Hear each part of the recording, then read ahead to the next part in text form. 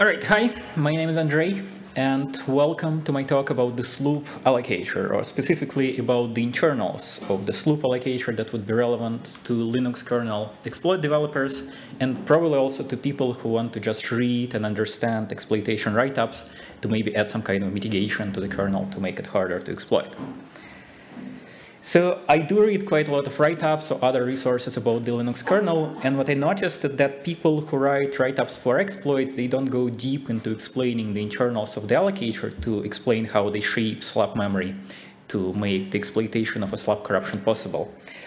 And then we do have some articles that explain the internals of the Sloop allocator, but the problem is that those don't cover how the Sloop internals are connected to the actual shaping of slap memory in exploits. So what I wanted to do is I wanted to cover, cover the gap that we have and both explain the basic internals of the allocator and then based on those internals explain why common strategies of slab shaping work and exploits. There is a bit of a problem with this talk as I technically I need two hours to go through all the slides.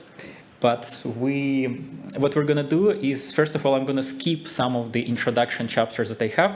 So instead, well, first of all, probably everyone here, since this is a Linux kernel specific conference, everyone has at least a little bit of an idea about how the um, kernel dynamic me memory management works. So people probably know the difference between the page allocator and the slap allocator, for example. And so I'm going to skip that part. And if you're watching this in the recording, you want to go to the slides and probably check out the slides first for those skip parts. And the second part that I'm going to partially skip is the description of the slap allocator API. So if you know that there is a kmalloc function that allocates memory, kfree function that allocate uh, that frees memory, and then you know the difference between like common kmalloc caches versus caches that are created for specific types, then you know everything that I'm going to skip. So yeah. I do want to cover one specific detail about the idea of the slap allocator because we're going to need it when we're going to discussing when we're going to be discussing specific memory corruption that happened within slap allocator. And I want to explain where the word slap comes from. So the slap allocator, it manages memory in these big chunks called slaps, and these chunks are allocated from page alloc, so from the page allocator. The slap allocator allocates these big, big slaps and it splits them into smaller object slots. And whenever a user, a user being the kernel, requests a, um, a certain amount of memory to be allocated, it gets allocated from one of these object slots in one of the slabs. So technically inside of the kernel you have many different caches. Each cache has its own slabs, so slabs are split into the objects of the same size. And when you call kmalloc, you get a pointer to one of these object slots. So that's like the core idea that we need to know before we proceed. And the next thing I want to mention is that technically the slap allocator does not exist. There are three different slap allocators within the kernel, or rather in the upstream kernel right now, there is only sloop left, everything else was removed. But when you're writing an exploit, maybe you're targeting an older kernel and you might have a different, different flavor of the allocator. So all of these three flavors, sloop, slap, and slop, they follow the same API, but they have different implementation. But for years, the sloop allocator was the default, so this is what we're going to focus on. All right, let's talk about um, let's talk a bit about what kind of memory corruptions we might have with the slap allocator. So the memory corruptions that happen, those are the typical bugs that you might have with any kind of a dynamic memory allocator. You might have out of bounds accesses, use after free accesses, um, memory being freed twice, invalid pointers being freed, and stuff like that. Within the talk, we're going to focus on the out of bounds use of the free bugs just because there is not enough to cover, not enough time to cover everything. But I do have some notes about double freeze at the end and invalid freeze we're not just going, we're just going not to discuss. Let's look at a few uh, basic scenarios how these memory corruptions can happen. So we do know that we have these slabs which have object slots. And let's assume that within one slot we have a vulnerable object. So throughout the, this presentation, whenever I'm going to be saying the word vulnerable object, that means that this is a specific allocation that is affected by some kind of vulnerability. And here we assume that our vulnerability is an out-of-bounds access from within the object. So since the object is located within a slap, it might be that the next slot that follows this object on the slap is free. So when we have an out-of-bounds access, this access lands in a free slot, and the sloop allocator does store some metadata within free slots, so it might be that the access corrupts the metadata or leaks the metadata to user space, for example. And a different scenario, it might be that another object is allocated in the next slot, and in this case, the corruption is happening, so the access lands in an allocated object of a different kind. For use of the free, similar things can happen. So first of all, we can have a use of the free scenario where memory is freed, so um, memory is allocated, so a specific object is allocated via key malloc, then it's freed via key free, and then it's accessed via a use of the free reference. So we assume that since we have a use of the free mm, bug in the kernel, after the pointer was freed, the kernel still holds on a reference to this pointer, so it can still access it, and this is the use of the free bug by itself. And in this case, we're accessing free slot. So in case nothing else was allocated in the same slot, we access a free slot, the kernel accesses free slot, but it might be that the kernel allocates another object in the same slot. And in this case, the access lands in another object. So these are just typical scenarios that might happen. And a Linux kernel exploit that uses a slap bug, what it wants to do, it wants to use the slap memory corruption to do either one of two things. So either it wants to attack the metadata that is stored within the free slot, it is tricky with this loop allocator due, due to mitigation, but it is still possible.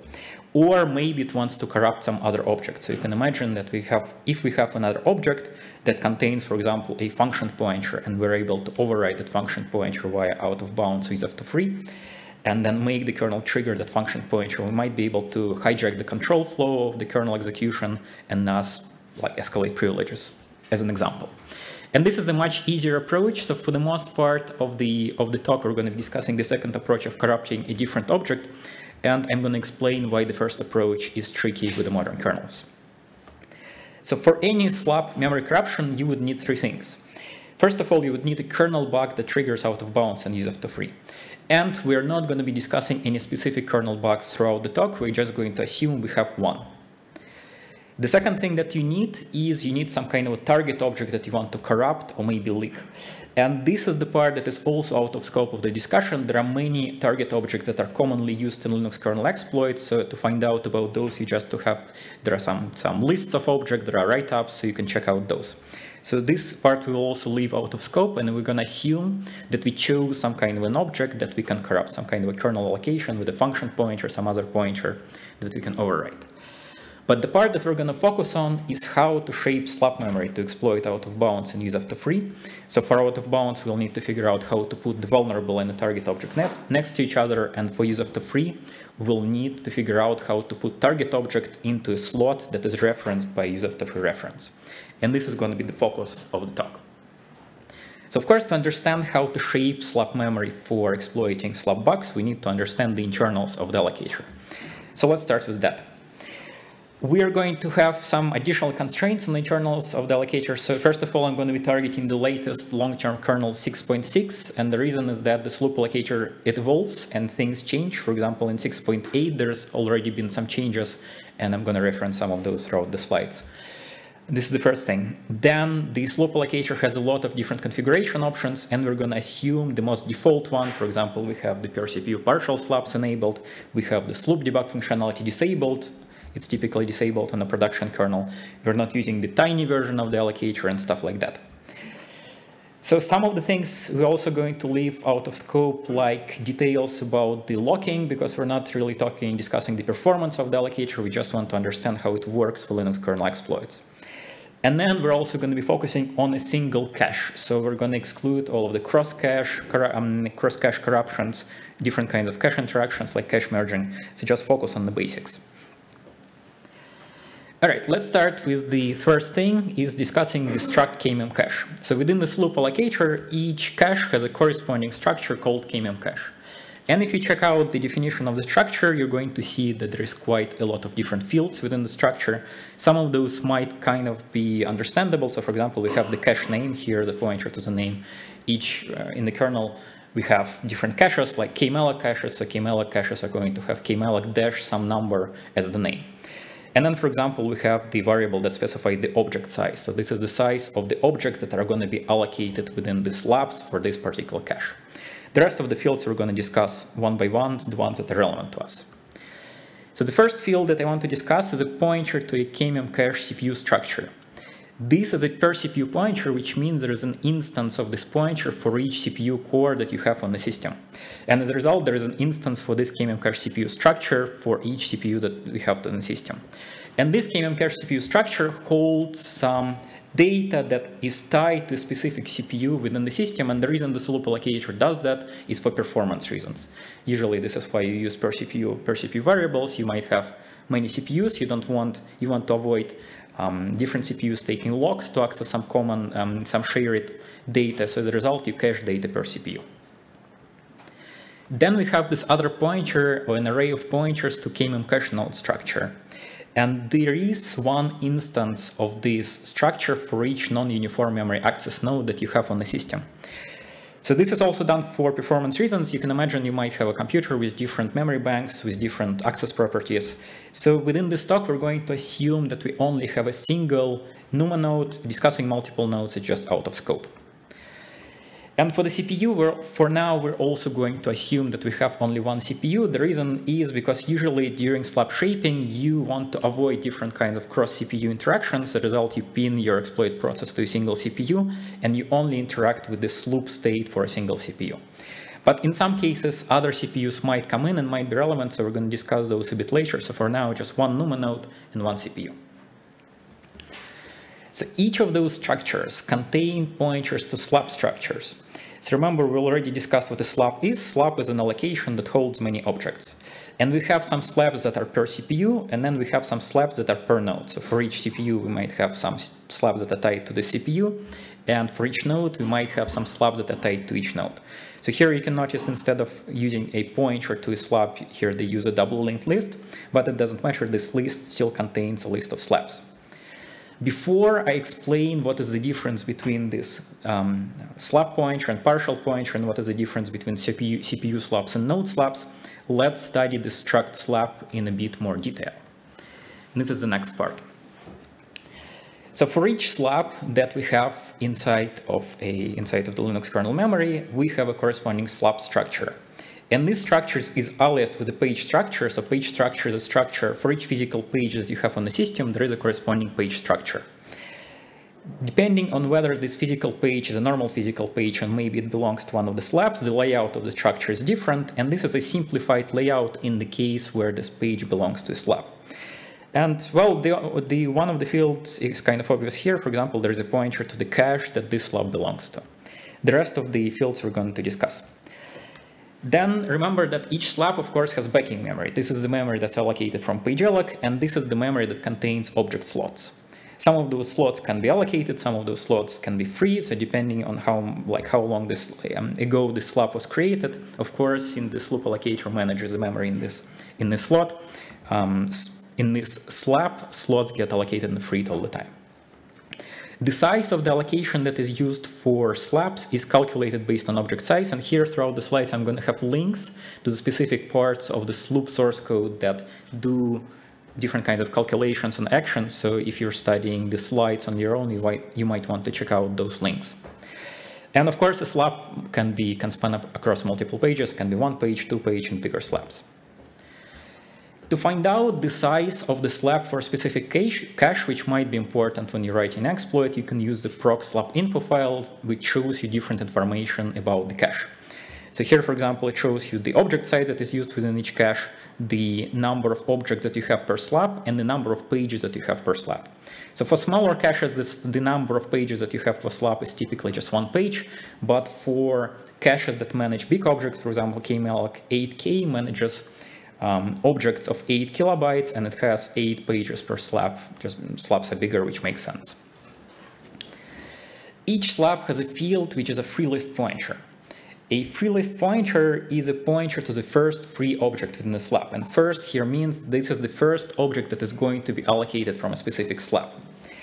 And and as an initial note, there is no pointer to the beginning of the page allocation from within the struct slab. And the reason for that is because there is no need for it. Struct slab is essentially struct page. So you can just use the, um, there are some kernel macros that allow you to calculate the address that corresponds to a page allocation based on the address of the corresponding page structure. All of the free slots within the slabs are linked via a free list. So we have this free list pointer that points to the first free slot within the slab. And this memory is technically free, which means no kernel user, like the Linux kernel does not use it well, the Linux kernel external to the slope allocator does not use it, which means that the slope allocator can, can store any kind of metadata it wants within the free slot. And the only metadata that the slope allocator stores within free slots in the, in the configuration that we assume is a free list pointer to the next free object. So inside of this first free slot, we're going to have a pointer to the next free slot. Inside of that free slot, pointer to the next one. And once the free slots within the slab run out, the last pointer is null. And this is how the slope allocator links all of the free slots within each slab. So when we are allocating objects from the slab, when the slope allocator decides to allocate objects from the slab, it's going to allocate them from the front of the list and also free them to the front of the list. Let's talk about how the free list pointer is stored within the free slot. So it is stored near the middle of the slot and the way the address of the free list um, pointer is calculated, essentially they take the address of the object and add the object size divided by 2 and align it to, to 8 bytes. So essentially this is around the middle and the reason this is done, it, it used to be that the free list pointer was, was stored at the beginning of the um, object slot. But then if you have a one byte memory corruption, like a one byte out of bounds bug, you can overwrite one of the bytes of the free list pointer and maybe get a stronger memory corruption based on that. So this is why the free list pointer was moved into the middle of the slot. In addition to that, the free list pointer is hashed, so this is how the hashing happens. The original value of the free list pointer is XORed with the per cache random value, which is generated when the cache is created. And then in addition, it's XORed on something that's based on the address of the slot itself.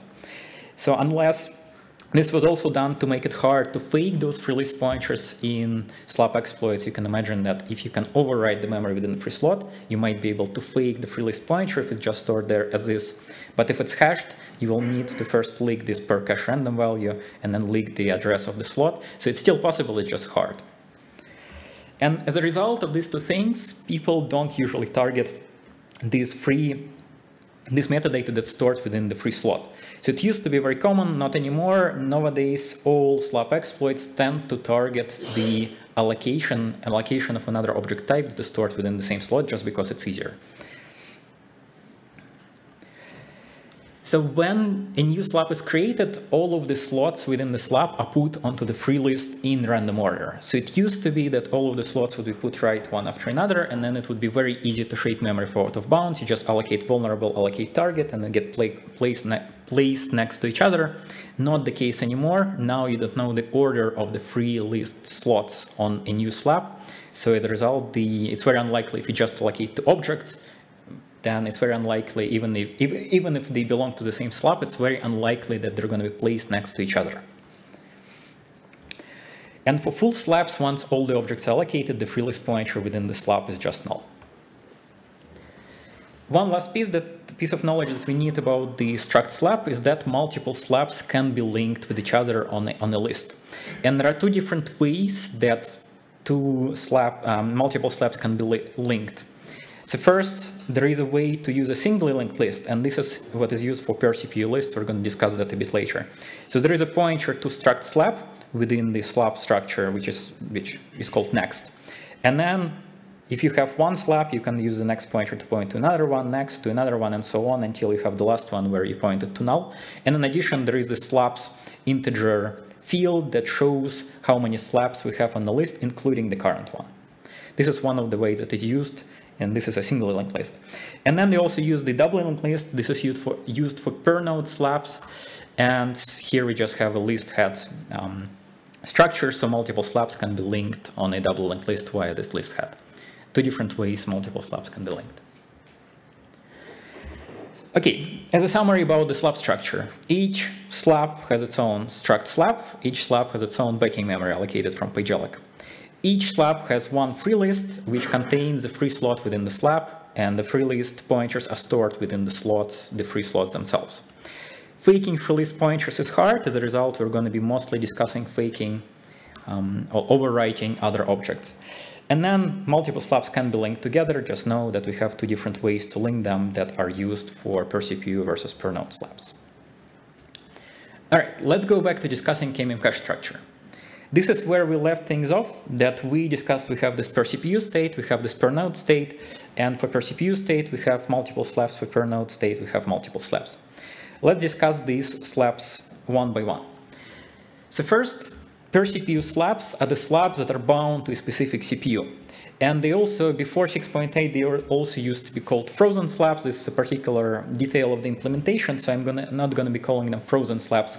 Just know that these are the slabs that are bound to a specific CPU, which means that if a specific CPU are going to start allocating objects from this cache, allocations are going to come from these per CPU slabs first.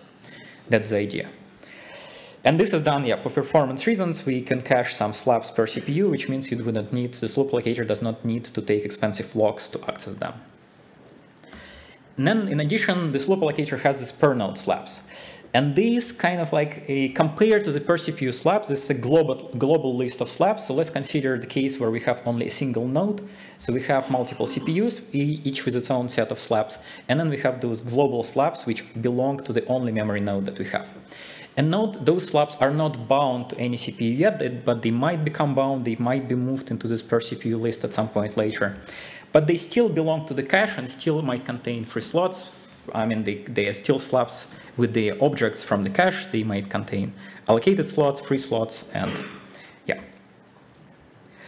Let's discuss those two. So when you look at the per CPU slabs that you have, you will see that we have two different pointers. The first pointer is a pointer to that's called slab. I call this one active slab, and the other is a, is actually going to be a list of pointer par, for partial slabs.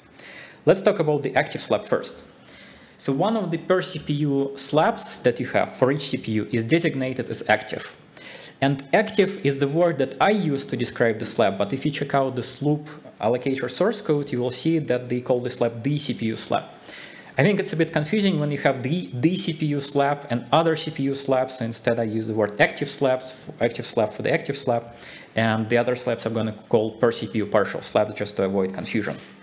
And this is also what most external write-ups do. If you're reading some exploitation write-ups about the sloop allocator, it's going to use the keyword active. So Active slab has a unique property is that allocations that happen on this CPU from this cache happen from this slab first. And that's the idea. We have one single slab which is used first to serve the allocations. One additional unique property about this slab is that it has two different free lists within it. So remember we already discussed, so each struct slab has a pointer to a free list and it contains free um, object slots that belong to this slab. But for the per CPU slab, there is actually an additional free list from the KMM cache CPU structure, which also points to the object slot within the active slab. This is the part that's usually missed by most um, like security-related write-ups about Sloop, and it's not particularly useful for exploiting basic memory corruptions. But at the point when you have multiple CPUs working working um, against each other and you have some kind of a racy slab shaping technique, this this is the fact that might be relevant. So this is how it works. This is, uh, let's imagine we have this backing memory for the active slab. We have some free slots within it. And the two free lists, they link slots with the free slots within the slab, but they don't intersect within each other. So we have this lockless per CPU free list that is, um, that is a field of the KMM cache CPU structure. And lockless, it's in the sense that when we have, when the current CPU wants to do some kind of operations with the slab, it doesn't have to take any locks. So it just uses this lockless per CPU free list to free object slots on, on this, onto the slab or allocate object slots from the slab. And the per active slab free list, it, uses, it is used in cases when other CPUs want to free objects that belong to the slab. So you can imagine a case when we have an active slab for a specific CPU, but the address of one of these object, objects on the slab it's used by another CPU to, to issue a key free again. So just key frees an address from the slab. So the result, in this case, the object is not going to be put on the lockless free list, it's going to be put on the per slab free list, and the sloop allocator will need to take the per slab lock, but this is, this is out of scope of our discussion. So yeah, just know, two different free lists. We have a lockless free list for the current CPU usage, and we have another free list that's used by other CPUs. And the slots on these two free lists, they don't intersect. So these are completely two separate free lists, which means we're going to have two different slots within the slab that end with a null pointer, for example. All right, this was about this was the details about the active slab. Now let's talk about the partial slabs. So partial slabs, they this this second field that we have um, that we have within KMM cache CPU structure that's called partial. This is a pointer to a list of partial slabs. So partial here means that these slabs have free slots. So there is at least one free slot within the, each slab. They can be fully free, but we definitely have at least one free slot. Of course, each of the partial partial per CPU slabs has its own backing memory, and each of the partial per CPU um, slabs has only a single free list. So in the active slab, it was more complicated. We had two different free lists. In this case, it's fairly simple, just the per slab free list with the free slots within the slab. And these are the slabs that are going to be used for allocations after the active slab. I will discuss this in more detail in the second part when we're going to be discussing the allocation algorithm. So for now, for now, just know we have the active slab that's used first, the per CPU slabs that are bound to the CPU, but they're not used before the active slab gets full.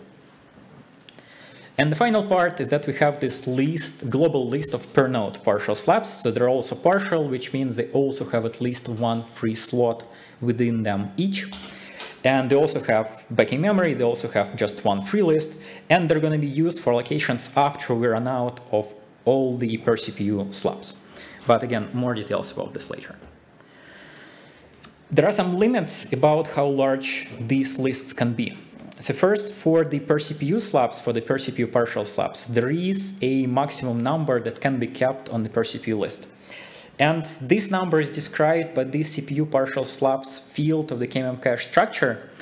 And unfortunately, there is no way to find out this limit from user space, it's just not exposed to user space. Instead, the slope allocator exposes a slightly different number, CPU partial, but this CPU partial slabs number is calculated based on CPU partial. So if you know CPU partial number, which you can get from the um, what do you call it, SysFS file system, then you can calculate the maximum number of slabs that you might have on the per CPU list for a particular cache.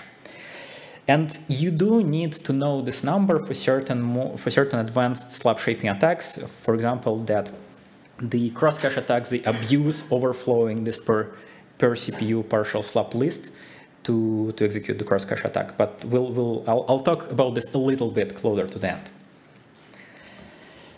So for the per node list, we also have some kind of a limit, but it's not a hard limit. So instead, for the per, per CPU partial list, we had the limit of the maximum number of slabs. Here we have the number of slabs that the slab allocator tries to keep on the per node list. So this number is exposed, this is called mean partial number, and the slope, slope allocator tries to keep at least mean partial slabs on the per node list always. So even if the slabs get fully free, even there are no, no allocated object slots, so normally the slope allocator would want to free those slabs back to the page allocator because it doesn't need that memory anymore. But for per node slabs, they're an exception. So if we have at least min partial slabs, if we, if we don't have yet min partial slabs on the list, then even if you have empty, empty slabs here on the per node list, the slope allocator is just going to keep them around. And here I have a table with, with um, the numbers for specific, for KML caches. I'm going to skip those because this is just for reference, maybe for those who are writing kernel exploits. So slab of each type can be fully free. We can have a fully free active slab. We can have a fully free slab on a per CPU partial list, and we can have a fully free per node slab. And some of the exploits rely on this behavior that some of the slabs are kept fully free. And for full slabs, they're just not tracked. So the moment the last free object slot within the slab is allocated, at this point the slope allocator forgets a reference to the slab and it doesn't keep it on any list. So the moment the slope allocator gains a pointer to the slab again is when one of the allocated slots on the slab gets freed. At this point, it just uses vert to slab to calculate the address of the slab structure and then it puts it back onto some one of the partial lists. So a bit more detail about the namings. I already mentioned about the active slab, so I use a slightly different naming scheme for naming the slabs. Inside of the kernel code, you will find either the CPU slab or just CPU slab for the active slab. For the per CPU partial slabs, they're, they're named more or less similarly in the source code and my presentation. They're called per CPU partial slabs, so just CPU partial slabs. And another difference that we have is here. So these per node partial slabs, I specifically call them per node but the Linux kernel source code sometimes omits, omits this per node name and instead just says partial slabs. So if you're reading the source code and you see a reference to partial slab, sorry, without specifying whether it's per CPU and per node, it's going to be the per node slab. All right, and as a summary, this is the layout that we have. We have KMM cache with one KMM cache CPU for each CPU. The KMM cache CPU has two different types of slab. We have the active slab with two different free lists. Allocation happens from here first. We have a list of per CPU partial slabs. Each has just a single free list. And then we have the per node state with a list of per node slabs that each has backing memory and a single free list. And of course, the full slabs are just not tracked, so they exist somewhere, but the slope allocator does not keep them on any list. So this is the summary of the layout that we have within the sloop. Now, before we talk about our first slab shaping exploit, let's talk about how the allocation happen. I already how the allocations happen. I already briefly mentioned that we have active slab first, then per CPU slabs, then per node slabs. Let's put it on onto the slides. So within the slope allocator, we have five different tiers of allocation process. Also not an official term, so I just call them tiers. So the first tier is allocating from the lockless free list, second tier from the per, slab, per active slab free list, then we have per CPU slabs, per node slabs, and finally we can create a new active slab. Let's go through them part by part. So the first step is, let's say we're trying to allocate a specific CPU is trying to allocate an object from a specific cache.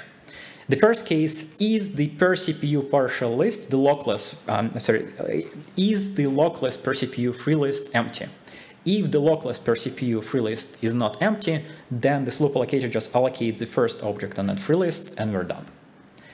If it happens that this lockless free list is empty, then we go to step two, we go to tier two, allocating from the per active slab free list. So remember that within the active slab, we might we have we do have two different free lists: the active, the lockless free list, and the per slab free list. And this tier two is when the lockless free list is empty, but the per slab free list is not empty. In this case, what the slope allocator is going to do, it's going to move all the, all, all the objects from the per active slab free list into the lockless free list. For that, it will have to take a lock, of course, and release the lock. And at this point, we can go back to tier one, which is allocating from the lockless free list. So a bit more complicated for the active slab because we have two different free lists, but we allocate from the lockless, try to allocate from the lockless free list first, and then from the um, free list that requires locking. And if it happens that both of these free lists are empty, or it might happen that we just don't have a pointer to active slab, it depends on the exact branch that is taken within the allocator source code, we just go to tier 3. Tier 3 is allocating from this per CPU partial slab. So we assume we don't have a active slab yet, and we are, we are going to use the per CPU partial slabs. And the way it works is that the slope allocator just takes the first slab from the per CPU partial list and then and it assigns it as the active. Fairly simple. And at this point, we can go to the previous step, allocating from the active slab. So take the first from the per CPU partial list and use that. If we don't have any per CPU partial slabs, we go to tier 4, which is allocating from a per node slab. So in this case, a slightly more complicated thing happens. So first of all, we do take also the first slab on the per node list and assign it as, as active. But in addition, the slope allocator is going to move some of the per node slabs to the per CPU list. So the idea here is that since we run out all of the allocations within the per CPU, per CPU slabs, most likely this particular CPU is trying to allocate a lot of objects.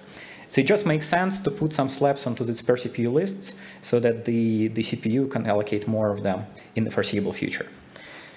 So the first step, designate what, the first per node slab as active, and the second step is move some of the per node slab to the per CPU list. And at this point, we can just go to allocating from active slab. So this is go to one of the previous steps. And the final case is when we don't have any slabs or any of the lists. In this case, the slope allocator just allocates a new active slab. So it goes to page alloc, asks for some pages, um, creates a free list for the slab in a random order, assigns it, assigns it as the active slab, and at this point we can allocate an object from the slab. So five tiers, lockless free list, per active slab free list, per CPU partials, per nodes partials, and creating new slab. All right, this might be a lot of details, so let me explain the core things that we need to know before we can discuss the first exploitation primitive, that exploitation approach that we're going to discuss. So first, we do have many caches, and each caches has many slabs that store objects. Some of those object object slots. Some of those object slots can be free. Some of those can have allocated objects from the previous kernel operation. Then we do have the separation between different types of slabs, and the allocation they happen from the active slab first. And once the slots in the active slab get run out, get get run out, we assign a, the sloop allocator assigns a different slab as active. And if you think about step two, so let's say we just start allocating many, many objects from the same cache on the same CPU. So we're going to fill the active slab, we're going to fill all the per CPU partial slabs and all the per node slabs, and at some point a new slab is going to be created with all slots empty, and it's going to be assigned as the active slab. So these are the three takeaways that we need to know. So let's discuss the first very simple case of shaping slab memory for out of bounds, out of bounds uh, vulnerability. So this is a simple case in the sense that I assume here that we have two different system calls. One system call that allocates a vulnerable object and another system call that triggers an out-of-bounds access from this object. This is not always the case with out-of-bounds vulnerabilities, but this is the case that we're, looking at. So the trigger for the allocation and for the out-of-bounds access, they're separate. And remember that for the attack, we also need other things. We need like a target object. We assume that we have one. And this is the part we're going to discuss now, how to shape slab memory in such a way that the target object follows the vulnerable object in slab memory. So what can we do to achieve this? So for now, I'm just going to explain, explain to you the algorithm we're going to follow through, and then we're going to discuss why exactly it works. So the first step that most slab exploits do is they want to allocate many, many objects to get a new active slab. And the reason is they do it is because, well, essentially from the previous kernel operation, you do have the active slab, but it might have some uh, allocations that are unrelated to your exploit. You want to get rid of those, you just want to create some kind of a predictable memory state. So as a result, you just allocate objects and we're going to be using target objects to fill all the holes in existing slabs. I will discuss why that is a bit later. For now, just, just let's assume we use our target objects. And we are also assuming that we choose such a target object that can be allocated as many times as we want. Because we have arbitrary choice of target objects, we can do that. So let's discuss how many objects do we need to allocate to fill all the holes and get the active slab. So um, this is the slab memory that we might have before executing our slab shaping strategy. And these are the slots that we need to fill before a new active slab gets created. So how do we know how many holes we might have in a cache when our exploit starts running? And unfortunately, there is no way to find out the exact number just because these numbers, they can be found out through the proc slab info file, but this file is just not accessible to unprivileged users. And we do assume that our exploit runs as an unprivileged user.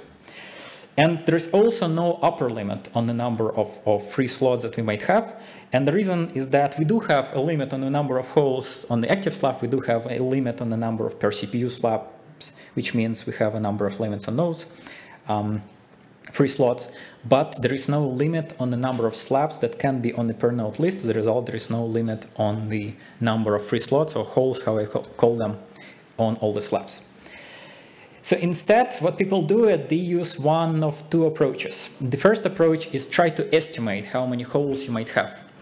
And the way this works, you just reproduce the environment. So we're assuming you're trying to attack some kind of a target target server, let's say with a certain environment. We reproduce that environment locally. We run the same kernel version. We try to run the same user space workload. We try to give it some uptime and then see how many object uh, how many holes, how many holes within the slabs you have on the local system. Because you can debug your local system, you can find it out easily. So I'm going to explain how exactly to get this number on a local system in the next slides. But the problem is that this number is not going to be accurate. Of course, a remote system might have a different number of holes. But this is already good enough as an estimate, it makes sense to take a bit more. Maybe we want to take twice more, three times more, 10 times more. But at least this gives you an idea of the order of magnitudes, a magnitude of the, of the number of holes that you might have in each specific cache. And there is a, an alternative which I will leave out of scope. Is uh, This alternative is relying on timing side channels to figure out whether you allocate, uh, to figure out the moment when you get a new active slab. And the idea is there, you just keep allocating objects and you keep measuring the time the syscall takes to execute to allocate a certain object. And the moment you see that the syscall took a while longer than before, probably this is the moment this loop allocator had to go to page pagealloc to allocate a new active slab. And this is how you can kind of figure out this, uh, through a side channel that you got a new active slab. I do have some links about this approach at the end, but I will leave this out of scope. So let's just discuss the simple approach. Let's assume we're just writing a simple proof of concept exploit, and let's see how we can get an estimate of the number of holes. So within the procslab info file, for each cache that you have on the system, you have two numbers. The first number, active objects, this is the number of allocated slots within all slabs that you have for a cache. So each cache can have multiple many slabs, and this is the number of allocated slots. The second number is the total number of all slots, counting both allocated and freed ones. There is a bit of a problem with these two numbers is that for the sloop allocator, they're not updated all the time, so they're not kept up to date. So if you check here, for example, for CredJar cache, these two numbers match, which is a very unlikely situation that all the holes, all the free slots within all the slabs that we have are filled. This is quite unlikely. So to find out the actual number of holes that you have in a slab, you have to force the sloop allocator to update those numbers. There are a few ways you can do that, but one of them is you can shrink the cache. So there is a special shrink file which you can write into, and at this point the sloop allocator will update these numbers. There is a bit of a problem with using specifically this approach because as a result of shrinking, the sloop allocator will also free all of the fully free slabs that it has for this cache. So the number of holes is actually going to be different after the shrinking than before the shrinking. But this is still good enough to get some kind of an idea of how many holes you might have. So here, for example, before the shrinking, the numbers were the same. And after the shrinking, we have about 1,000 objects of a difference. So in exploit, maybe you want to allocate like 2,000, 3,000 objects to fill all the holes that you have in the KML32 cache. Okay, let's assume we filled all the holes, so let's assume we got a new active slab, and it's going to be partially filled with target object just because we kept allocating target objects, so once we got a new active slab, we don't know exactly the moment when, when we got active slab because we don't know exactly the moment um, when we managed to plug all the holes. So the assumption is that we do have some target objects on active slab. Now we're going to use our syscall that allocates one vulnerable object. And of course, because the allocation happened from the active slab, the object is going to be allocated from the active slab, oh, active slab 2. And it's going to be placed somewhere in the slab, we don't know where exactly. Step number three is we're going to fill this active slab with target objects. So we do know that the maximum number of objects per slab for a particular cache is, is a certain number. This is the opt per slab number. And we do know that we already have at least one object within the active slab, which is the vulnerable object. So we just allocate obj per slab minus one target objects on top. And the first few of them are going to be placed in the active slab. So the active slab is going to be filled. And then, of course, maybe a new active slab is going to be created and some of the target objects will spill there, but we don't care about that. The thing that we care about is that we fill our new, like old active slab with the target objects. And at this point, if we triggered out of bound access, it just happens that it, it lands in one of the target objects. So our, our slab shaping approach allowed us to create a new slab which has one vulnerable object and all of the other object slots are taken by target objects. And as a result, it's very probable that the um, object that follows the vulnerable, vulnerable object is going to be the target object. And this is what we wanted to achieve. So let's discuss what, what, what is going to happen if we skip some of the steps. First, what's going to happen if we skip this step one when we allocate target object to plug the holes and get a new fresh active slab.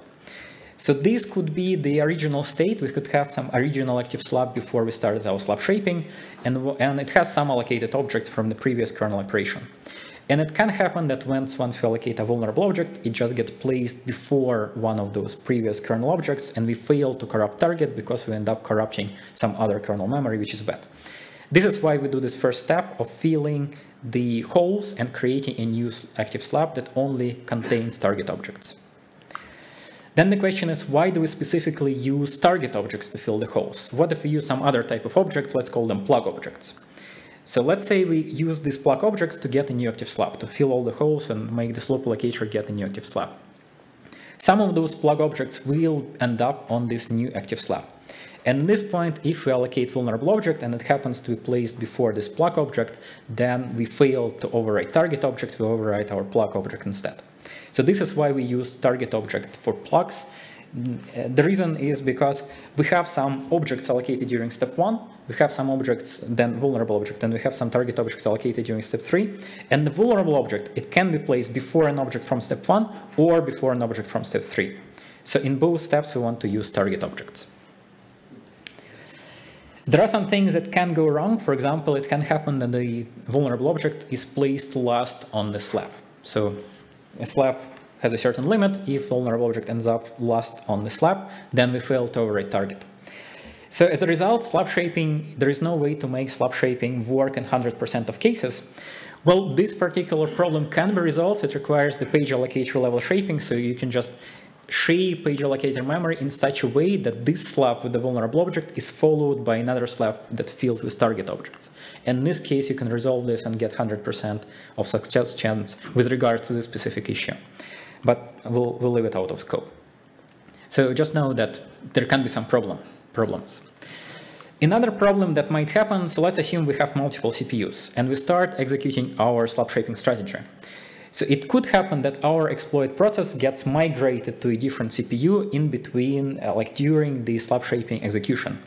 So this is a problem because once it's migrated to a different CPU, it starts using the active slab of that other CPU. And our slab shaping strategy fails because it relies on the fact that we use a specific active slab and the active slab does not change throughout slab shaping. Luckily for this particular problem, there is an easy way to solve that is we can pin the exploit process to a specific CPU, and this can be done by an unprivileged user. So just call the shed set affinity syscall, and this, this problem is resolved. However, there is still a different problem, which is called preemption. So preemption is different from migration. Preemption and when the task that's being executed on a certain CPU gets preempted by another task to be executed on the same CPU. And this is also a problem for us because if our exploit process gets preempted in the middle of slab shaping, some other process that starts running on the same CPU, it might start using the same cache, so it might start using the same active slab within the cache, and it might allocate a free objects from that active slab. And this is a problem. And for dealing with preemption, unfortunately, there is no single perfect approach. There is just some ways you can kind of deal with that to make, to to get your slab shaping strategy work in most of the cases. So here I have some of the ideas. For example, it makes sense to minimize the time you spend on slab shaping just because if you spend a lot of time, if you add some debug printfs in the middle of your slab shaping, probably not something that you want to do because you increase the chance that your exploit process gets preempted. And this is a problem. If you have a choice, you can use a less noisy cache, which means you can try, let's say you have a vulnerability, and for that vulnerability, you can choose object from which cache you're going to attack, maybe KMLOC 128 or KMLOC 256. And then you can debug the kernel and see which of these two caches is used more frequently and use the one that's used less frequently to avoid, so even your exploit process gets preempted, to avoid the case that these other tasks start allocating from the same cache. Then there are some other things like getting a fresh uh, scheduler uh, time slice before executing the slab shaping or checking whether you got preempted by reading this proc_self status file or maybe timing side channels. But there is no one perfect solution. So slab shaping does not always work. You can get it, make it work for sure. Like you can make the success chance of slab shaping to be like 99.9% .9 for certain types of exploits, but it's never going to be 100%. Okay, let's discuss a slightly more complicated case. And this is the case when we have a combined allocation and out of bounds trigger. So in the previous case, we had a separate syscall which could which allocated vulnerable object and a separate one that triggered out of bounds. And in this case, we have one that both allocates an object and then immediately triggers out of bounds from the object. And with this second case, we cannot separate step two, steps two and three. So remember that in the previous in the previous approach, we had step through two allocating vulnerable object, then step three fill the active slab with target objects, and only then we triggered out of bounds. With this combined approach, we cannot separate those; those will happen in the same step. So this is what we're going to do instead. This, the, I'm going to discuss two different approaches to this problem within the presentation. For now, this is going to be the allocation only approach. So here we're going to be relying on the allocation primitive only. There is a different approach that you can use, but it relies on um, knowing how the frame works within the slope allocator. So we're going to move on to that later. So the allocation only approach works like that. First, we do the same thing. We create a new active slab with target object. So at this point, we don't touch vulnerable object yet, so you can just allocate many targets to get a new active slab. And at this point, we're just directly going to use our uh, alloc and out of bounds trigger to both allocate an object and trigger out of bounds without filling the active slab. And let's see what can happen. The first thing that can happen is that the slot that follows our vulnerable object is going to be a free slot. And let's say we have an out-of-bounds write primitive, and we're really worried about corrupting some critical kernel memory because this is going to crash the, the kernel. And the thing is that if our out-of-bounds write primitive does not write too much bytes out of bounds, we are going to be fine because the only metadata that we have within a free slot is a free list pointer, but it starts somewhere in the middle of the object slot. So we can safely override the first few bytes, so depending on the size of the slot, maybe even more, um, and it's not going to cause any memory corruption. Of course, we're not going to corrupt the target objects, we're not going to override the target objects too, because it's just not here. But the important thing is that we're not going to crash the kernel, which means we can retry this slab shaping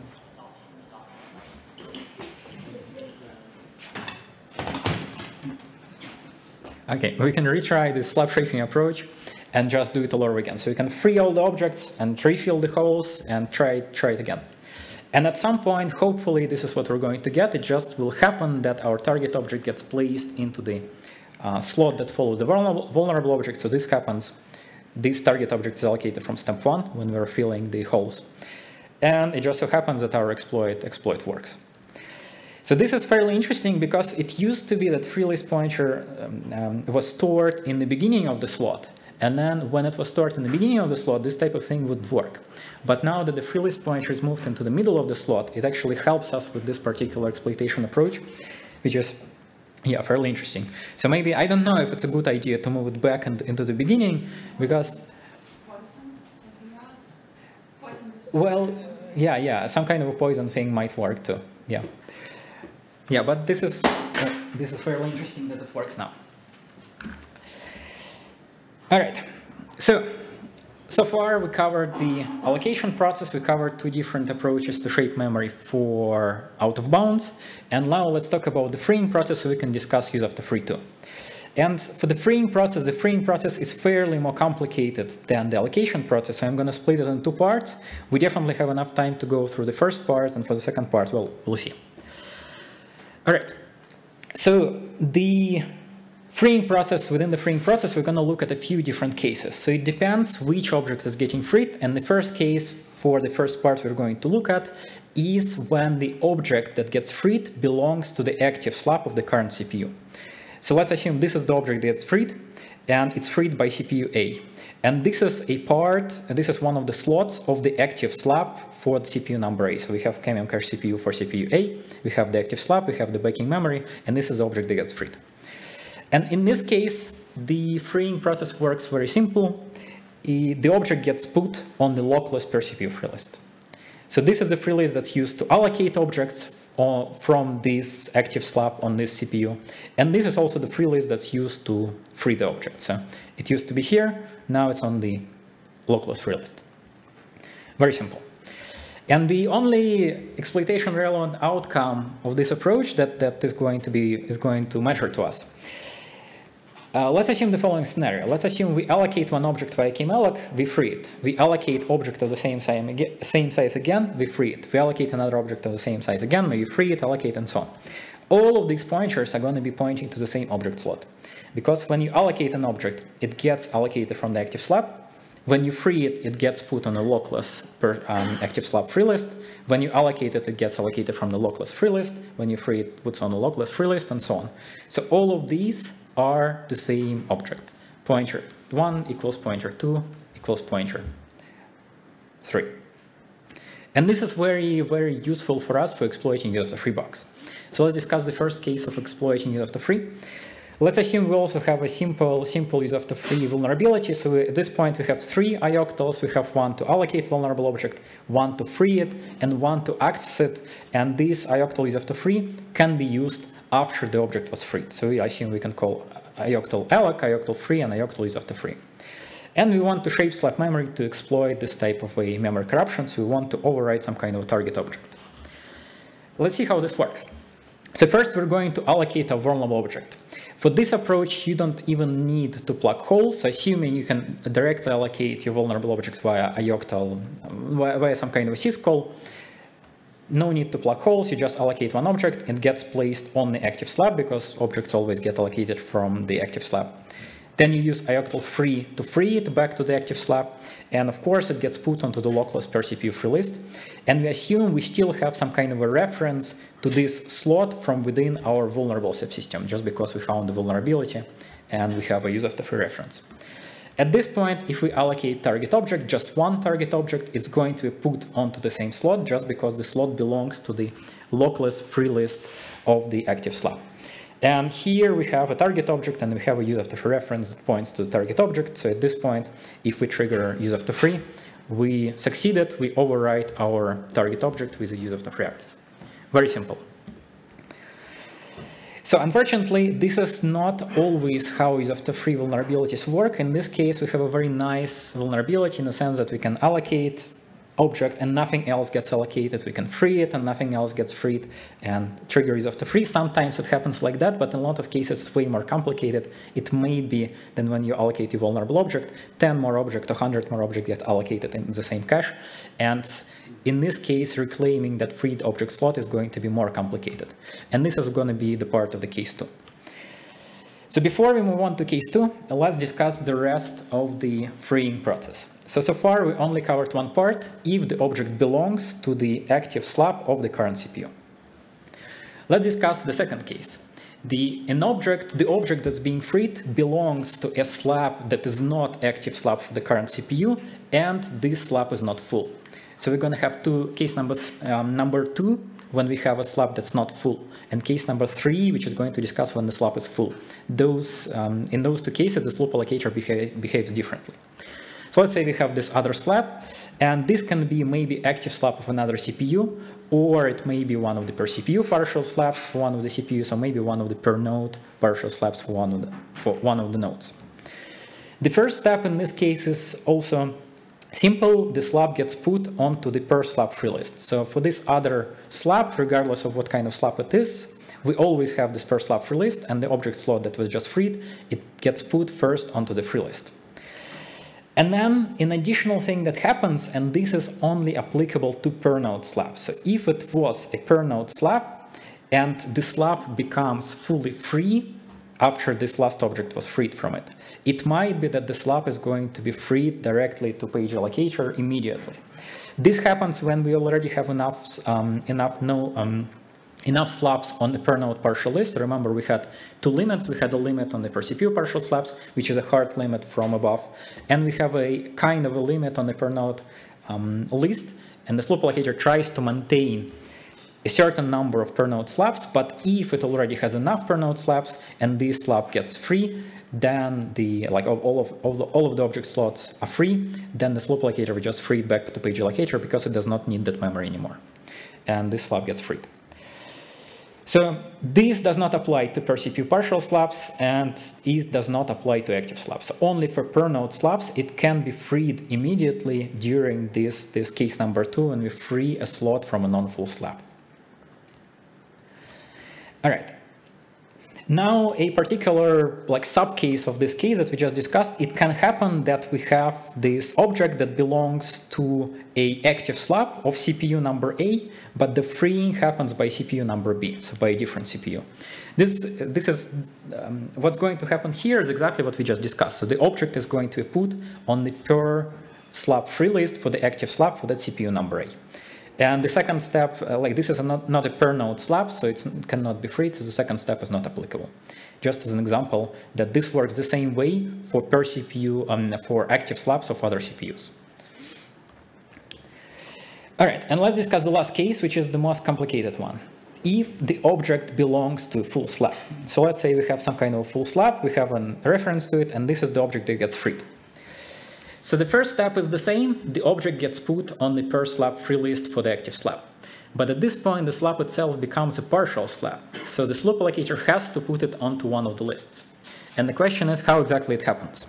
So what the slope allocator is going to do is going to try to put this slab on the per CPU partial list. The only problem is that we have a certain limit on the number of slabs that we might have on the per CPU partial list. And depending on whether this limit is exceeded or not, different things happen. So in the simple case, when the number of slabs that we have on the per CPU partial list is not going to be exceeded, so we have less than the limit. In this case, our new slab that was just full, that we um, um, that contains the object that's being freed, it's just going to be put first onto the per CPU partial list, well, and the rest slabs, the slabs that we had before will follow it. So nothing will happen with regards to those. So this is, this is the simpler case. The more complicated case is when we already have a lot of slabs, so we already reached the limit on the number of per CPU partial slabs. In this case, the slope allocator wants, will want to free up this list of per CPU partial slabs. And this is how it's going to do it. So it's going to go through that per CPU partial list slab by slab, and then it's going to move those slabs to the per node list and to the end of the per node list. It's not particularly important for us for us for the exploitation strategies that we discussed, but it does move it to the end of the list. And then while it's moving those per CPU slabs into the per node list, it might free some of those back to the page allocator. So if we have a per CPU slab that is, that is fully empty at this point, and we already have enough per node slabs, then at this point the per CPU slab will go back to the page allocator. And this is the particular behavior that's abused for cross-cache attacks. And we will leave this out of scope, but I'm going to have a reference to an article that describes how cross-cache works, and this is the behavior they rely on to free some of these per CPU partial slabs back to the page allocator to execute the cross-cache attack. So yeah, once the slabs are are moved to the per node list, or maybe some of them get freed, at this point we have space on the per CPU partial list, and the slab to which the freed object belonged, it just gets put first on the partial list. So this, this case number three is the most complicated case that, that I discussed throughout the slide. So this is the case when we have a full slab and we free an object from the full slab. First object gets onto the free list, then the slope allocator tries to move it to per CPU list. If the per CPU list has space, it just gets put first on the per CPU list, the slab itself gets put. If the um, per CPU free list is already at the limit, the slope allocator is going to free it up by moving the slabs to the per list, and, and then it's going to put the new slab first onto the list.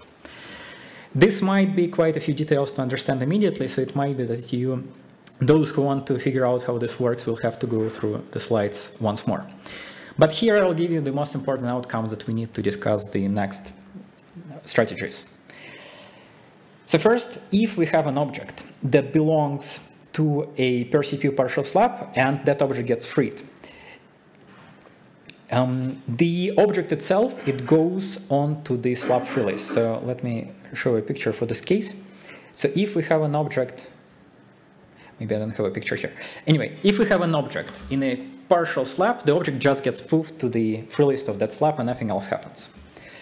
If we have an object in a full slab, then the object does gets put onto the free list for the slab and the slab becomes the first per CPU partial slab. So if you go back here, you can you can see that in both cases, regardless, uh, sorry, regardless of whether the per CPU partial list overflows or not, the new full slab always ends up first on the per CPU partial list. So in the case the partial list does not overflow, the slab that has a uh, slot that was just freed, it ends up first on the per CPU partial list.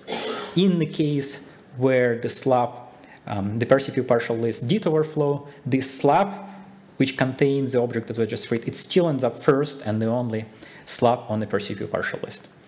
So this is the second outcome that we need. The third one is for cross-cache attacks, so I'm going to skip it. All right, so let's discuss a more complicated case of shaping memory for use after free attack.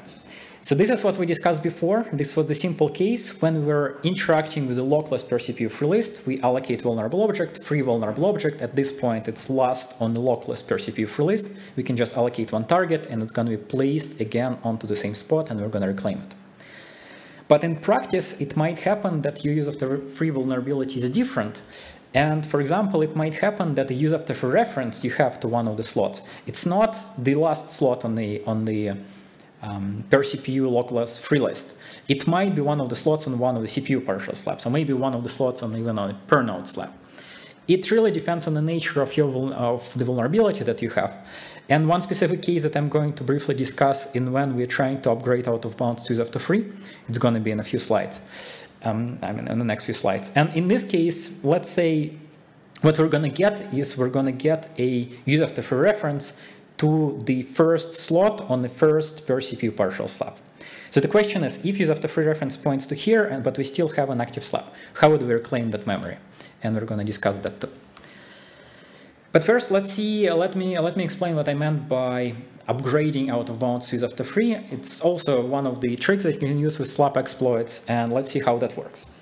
So remember how we shaped memory for simple out of bounds when we allocated many target objects to get new active slab, allocate vulnerable object, filled the active slab with target objects, and then triggered out of bounds to override target. So it might be that you don't want to use that out of bounds bug that you have to directly get control of the kernel, so to, to exploit the kernel only with that particular primitive. Because out of bounds primitives, sometimes they're powerful, but sometimes they can be fairly weak. For example, if you have a single byte out of bounds, it's very hard to corrupt something meaningful inside of the kernel to directly get code execution. So often what people do is they want to upgrade this out of bounds primitive to a stronger primitive and Typically, people upgrade it to use after free primitive just because use after free is usually way stronger than out of bounds in terms of things you can do with exploit. And let's say we're using such a target object here that contains like a ref counter or some kind of pointer that might get freed or something else at the very beginning of the allocation. Let's say the ref count. So in this case, if we use our out of bounds bug to override the ref count of the object, it might be that we will be able to turn this into after free. For example, we can decrease the ref count, and in this case, the object is going to be freed, the target object can be freed before the kernel gets rid of all the references to it. And this is a case that we're going to discuss. So let's say we shape memory for that simple out-of-bound case, and let's say we chose such a target object that contains ref counter at the beginning. And let's assume we shaped, we allocated target object in such a way that the ref counter, the initial ref counter that it has, it has number two. So we have two different references from different um, parts of the kernel to this ref, to this target object. So let's use our out of bounds primitive to override this reference counter from two to one, just as an example. So we assume that yeah, the ref, uh, the has the initial ref count of two and well, technically, we do know that the slab become full after shaping. So this, when we executed our out-of-bounds shaping strategy for the simple out-of-bounds bug, we fully filled this slab with target objects, which means it's one of the full slabs right now and it's not tracked by the sloop locator. So let's corrupt our ref counter, increment it to from 2 to 1. And then for each target object that we allocated from user space, I assume we have some kind of references to those objects, like a file descriptor or something else. And we're going to close those file descriptors once for each of the target objects to decrement the reference counter from each target object from 2 to 1, at least for those that we initially allocated. But since we corrupted the um, ref, ref counter for this object that we that, that get, got placed after the vulnerable object, its ref counter was 1. So when we close the file descriptor once, the object gets freed, and at this point we have a dangling reference to the slot. And the thing is that this slot is going to be this slab to which the dangling reference belongs. It's going to be one of the per slabs. So remember that during the out of bounds, during the slab shaping for simple out of bounds, we fully filled the slab, which means the slab become, became a full slab. And by triggering our, by closing the file descriptor, we do now have a free slot within the slab, but it's not the active slab. So it got placed on the per partial list, and let's assume it got placed first there.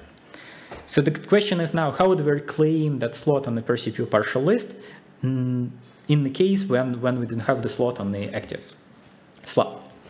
So the solution here is very simple. We use slab spraying, and the idea is also very simple. Just allocate more objects. So remember, when we are trying to exploit after free on active slab, we just needed to allocate one object because we knew that the slot is lost on the lockless free list. But in this case, the slot is buried somewhere deep within the slab allocator free list. So we just need to fill all the slots before it. And this is when we use slab spraying. So the idea itself is similar to the case when we just allocate many objects to plug holes, but I prefer the term spraying when you have some kind of a slot that you're trying to override, trying to target. Like plugging holes, you have many holes, and with this case, you have a particular slot. But the idea is the same.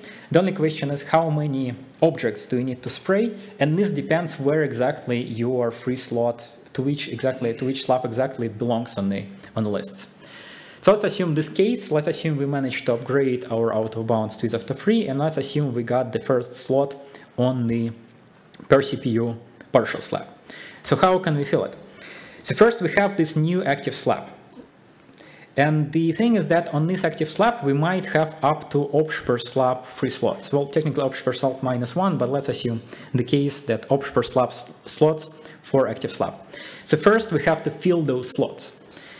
So what we do, we start allocating target objects, and this can be different target object. We used one type of target object for out of bounds. Maybe right now, when we have use after free reference, we want to use a different type of target object. But it can be the same one if you want. And so first we have to fill the slots on the active slab, and to do that we allocate option per slab target objects.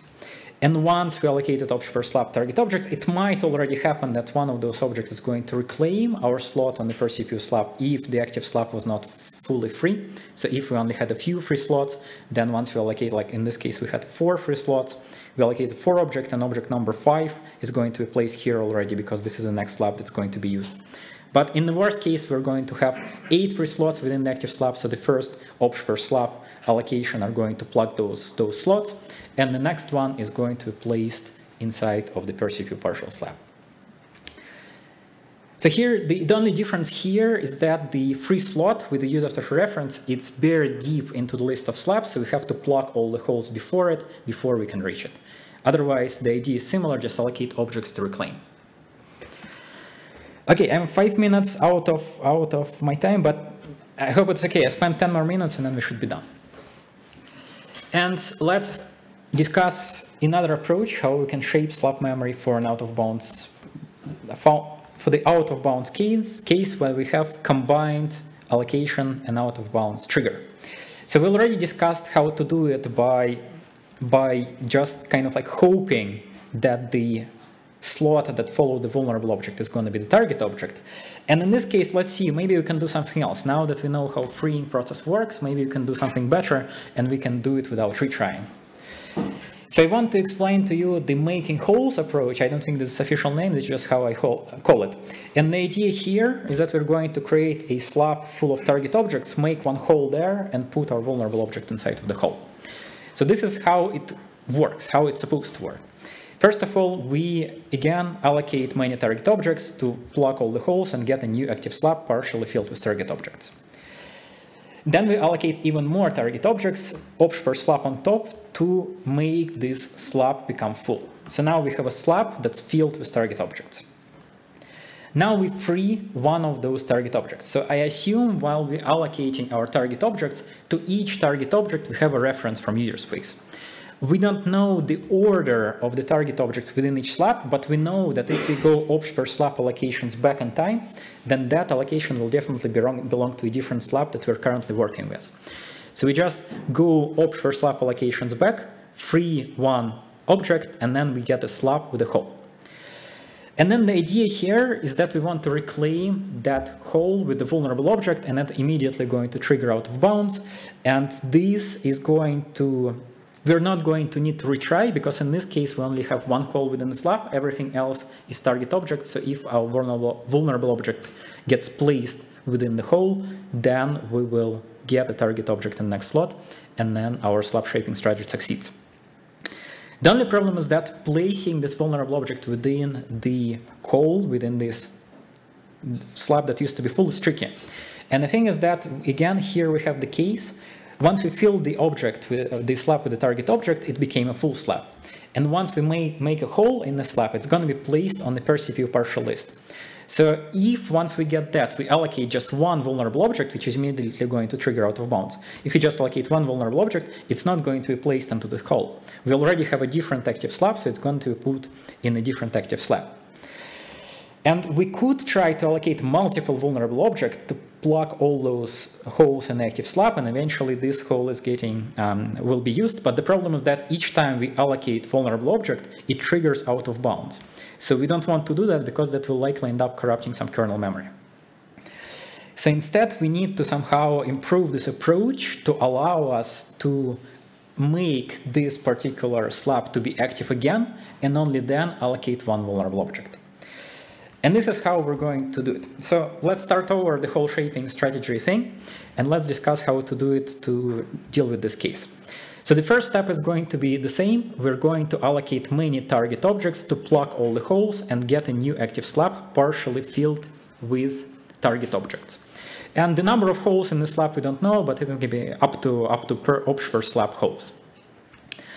The next step is that we're going to reserve many full slabs. So for this approach, instead of just reserving creating one full slab with target objects and making a hole in one slab, we're going to create many of them.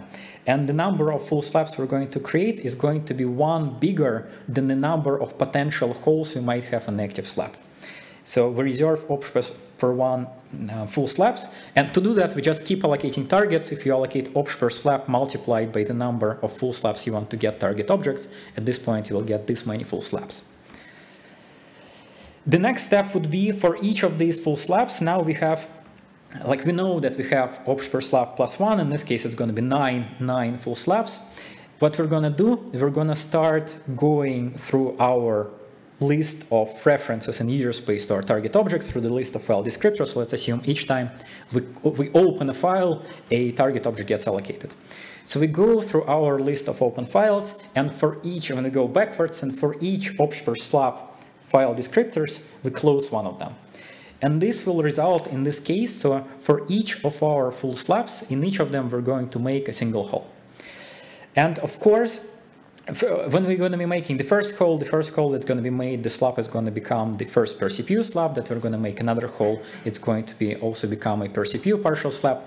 But the problem is that for all the caches that you have, the obj per slab plus one is going to be bigger than the number of the maximum number of slabs that you might have on the per CPU partial list. As a result, this per CPU partial list at some point will overflow and the slabs will spill to the per node slabs. So after you're done, done dealing with these holes, you're going to have some of the slabs with the hole on the with the hole on the per CPU list, and some of them are going to be on a per node list. And again, the total number of slabs that we have here in this in this particular case, we're going to have nine slabs with the hole, and the maximum number of holes we might have on the active slab in this particular case is eight for the particular picture that I have. So now let's imagine, let's imagine we start allocating objects. So first, objects are going to be allocated from the active slab. Then an object is going to be allocated from the first per CPU slab, at which point this hole is going to be filled and the per CPU slab is going to be become full slab and is going to be gone. Then the next per CPU slab is going to be used. Then, then at some point we're going to run out of these per CPU slabs and we're going to go to the per node list. And that list also have slabs with a hole, so those holes are going to be used next. So let's say the maximum number of holes that we might have in the active slab is per slab. Let's first allocate or obj per slab target objects. So a result, what we're going to have, we're going to, uh, in this case, I use plug objects, but it doesn't matter, target objects work too. For this case, I just made it plug objects, so on the picture you can see it better which objects got allocated at this step. So let's allocate obj per slab plug objects. First, those objects were allocated from the active slab. So we had an active slab with four free slots, those slots got filled. Then we had some partial slabs, some slabs with a hole on the per CPU list, and those slabs got full. Then maybe we went out to the per node list and some of those slabs got full. But the thing is that at the very end, even in the worst case, we're still going to have at least one slab with a hole, just because we created one full slab more than the total maximum number of holes in active slab. And at this point, we allocate vulnerable object and it gets placed within the hole that we have. And we do end up overwriting the target just because we shape memory in such a way that we fill that potentially last slab with the hole uh, at this step with a vulnerable object. So a bit more complicated in this case, we did need to know all the behavior within the slope allocator. We did need to know about all the lists, how to make holes, which is the order of the allocation. And this, this is the approach that you can use for this combined out of bounds approach. So the upside of this approach is that it works even in cases when your out of bounds bug might corrupt the free list pointer if it's like a bigger out of bounds, so you end up overwriting free list pointer, which you usually don't want. So this works. This approach also has some disadvantages, and the biggest problem is that it's not very reliable. So first of all, allocating that many full slabs takes time, and it, it's very likely that you're going to get preempted, especially for caches with very large ops per slab number. And the second thing is that in this approach, we start interacting with the per node list, and this is a global list. And the thing is that other CPUs might interact with that list too, which adds additional source of unreliability. So in certain cases, you might have to do it, but typically slab exploits, they tend to avoid dealing with the per node list just because other CPUs deal with that too, and you don't want that, you don't want any kind of source of unreliability. All right, some notes about double free. So just briefly, typically double free, what people do with the double free, they turn it to use after free. So you free slot once, replace it with some kind of object, free it again. At this point, you have a reference to the object and you trigger use after free. I'm already out of time, so I'm not gonna go through that in a lot of detail.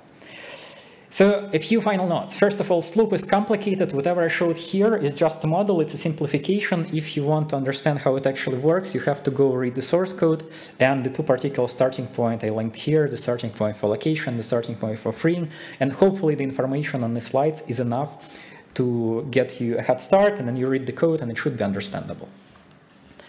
Then some additional links about the slope allocator. The first one is about internals of the slope allocator, and it covers what I covered here, except the slab shaping strategies, and also add some additional details about slope debug and about Kasan. So I do recommend checking this one out. Then once you're done with figuring out how this basic slab shaping, slab shaping strategies work, you might want to explore cross-cache, and this is the best starting point to explore cross-cache. Uh, sorry, the last article about good starting point to explore cross-cache.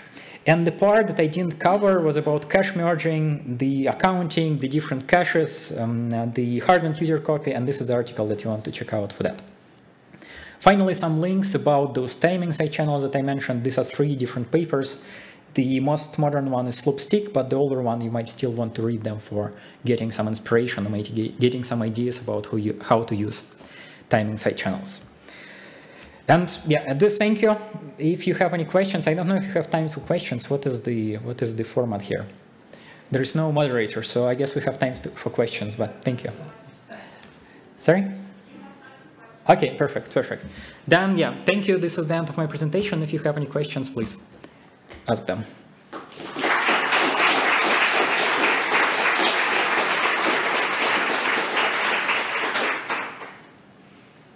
Yeah. Okay. So the first one, um, in the um, slab structure in the Canyon cache, you have two int fields. You have a CPU partial and you have a CPU, CPU partial slab. Yes. Uh, I'm not sure that I understood correctly the difference between the two. Can you please uh, explain it Yes. So CPU uh, partial slabs is the actual limit on the number of slabs that you might have on the list. So this is the actual limit. The other number is, I believe this is the limit on the number of objects, object slots that you might want, they might want to have on this partial uh, list, but they don't count. I mean, I think this is just some legacy reason. Uh, the original code was not limiting the size on of the list itself, but the number of free slots that they had on this list. But at some point, they decided it's more efficient to limit the number of actual slabs, so they reworked the code, but since this number was still exposed to user space, they, they wanted to keep it exposed to user space, the original number of the potential number of, uh, like potential limit on the number of free slots on these slabs. So they kept it. Okay, so the first one is about object, the second one is about the number in the element in the list, right? Yes, correct. And the second one, uh, you say that when the slab is full, is actually put outside of the of the Canyon cache, outside of the structure. But then where it is stored, because you still need to get the information about it, because if you free something from the full slab, then you will put it back into the into the cache. Yes. So for the slab, we have the slab structure and the backing memory. So the slab structure, it stays there. It just, it's one of the page structures. So there is a, a an array of page structures, maybe multiple arrays, and those, those, this is just an array and it's always there. And if a particular page structure is a slab, it's just going to have a different layout. So that always stays there. Um, the backing memory, it's allocated from PageAlloc, and yeah, if we have a free slot here, there is going to be a link to this free slot. Once we have no free slots, there is no link from the slab structure to this memory anymore. But the thing is that there is, so you might want to explore this vert to slab macro. The way this array of page structures is allocated inside of the kernel, there is basically one-to-one -one mapping from the array of page structures to the physical pages, to the addresses of physical pages that you have. As a result, if you know the index within the array of page structures, you know the address of the physical memory. If you know the address of the physical memory, you know the index within the array. It's slightly more complicated because you can have multiple arrays, but the idea is still the same. Um, if you know the address, you can get the address of such slab accordingly. So the code, what it's going to do once you get a pointer to a certain object, it's just going to use that vert to slap macro to get the address of the corresponding struct page. And that macro just calculates the address within the array of page structures based on the address of the page. Thank you. Yeah. Thank you for the great presentation. Um, just out of curiosity, uh, recent additions, I think it, it's in 6, 611 kernel, um, we do have the option for, for allocating or for using different um, caches, basically one per subsystem, for example. Um, yeah. Mm -hmm. I believe there's also something similar provided by GR Security um, that works very similar, let's say. Um, from my understanding, I mean, I understand how it protects against these kind of attacks, but it doesn't completely solve the problem, right?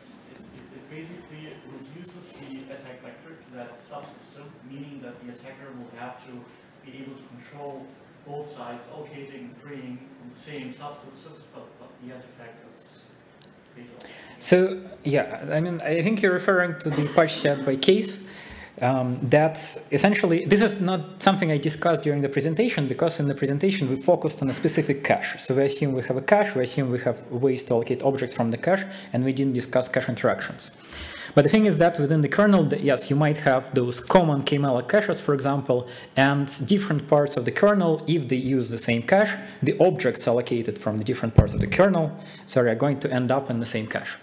And that, that patch set prevents that, that type of thing of happening. So like the latest patch set that's still being discussed is one based on the code location inside of the kernel code, even though the code, uh, like the, the call that you have to the allocation functions, it is came, it's still kmalloc, it's supposed to be using kmalloc cache, but at this point, for each code location, you have your basically standalone cache, a separate cache, and it just uses um, allocations from that cache. But yeah, that does not prevent the problem. Well, it prevents a part of the problem. It makes it way harder to choose, for example, target objects for exploitation. So in the case that I discussed here, let's assume we can have vulnerable object coming from one kernel subsystem and target object can be coming from completely different kernel subsystem. This is what happens typically right now without this patch that case has. But once you have that patch, if you have a certain vulnerable object, that means you will have to base your exploit on corrupting the same type of an object. So you're going to use vulnerable object or object of the same type as your target object. It still does not solve the problem fully because you can still corrupt objects of the same type and it might give you some kind of a better primitive that you will use for some other things. But it definitely makes it harder.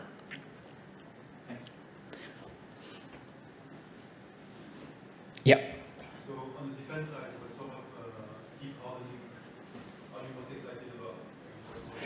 Well, I mean, I don't know. So this thing that case has, the last one, the one we just discussed, uh, it, it's fairly exciting. I don't know if distributions will actually enable it because as far as I understand, it results in big fragmentation.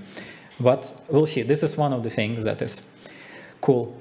Another thing is the slab virtual thing by Jan Horn and some other people from Google. So this is the thing that prevents cross-cache attacks. This is something I didn't talk about, but essentially um, what they do is they try to limit the, uh, basically for each cache, so imagine you have a cache and you have slabs that are allocated for, for that cache. And those slabs contain objects of a certain type. And what they want to do, they want to avoid cases when you have a reference when you have some kind of a cross slab interaction, for example, if a cross cache attacks, the way it works is let's say you have a use after free reference to a object slot within the slab. They take the whole slab, they free everything else in there, they free it back to pagealloc, and they allocate it as a slab for a different cache. And as, as, a result, you might have a reference, use after free reference to certain memory, which was originally a slab for a cache type A, and at the end you have a reference to a cache type B, which allows you to do a lot of fun things. And slab virtual prevents that. This is one of the things that makes it fairly interesting. It's also not bulletproof because at, the moment you're doing cross cache, you can do a cross allocator, how I call it cross allocator attack. So instead of corrupting a once you freed memory back to pagealloc, instead of allocating this memory as a memory of another cache, you can just allocate it as page tables. It's just a simple page allocation, and you can corrupt page tables, which is a very flexible approach. So something else needs to be done about that, but for cross-cache attacks specifically, Sloop Virtual is quite fun. And otherwise, yeah, we have MT, at least we have it, kind of have it on, on ARM. Well, we do have it on ARM. The question is, we don't yet have it in the Android kernel. There is a debug implementation that's not enabled by default, but MT will certainly make it very interesting for a lot of cases for this type of memory corruptions primitive. So MT is memory tagging for those for those who don't know. This is another type of a mitigation. Essentially, the MT allows tagging different slots of memory with different tags and different pointers with different tags.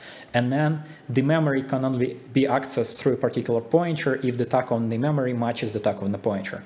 So if you manage to um, somehow make the pointer point to a different part of memory, the tags are not going to match, and you're not going to be able to dereference the pointer.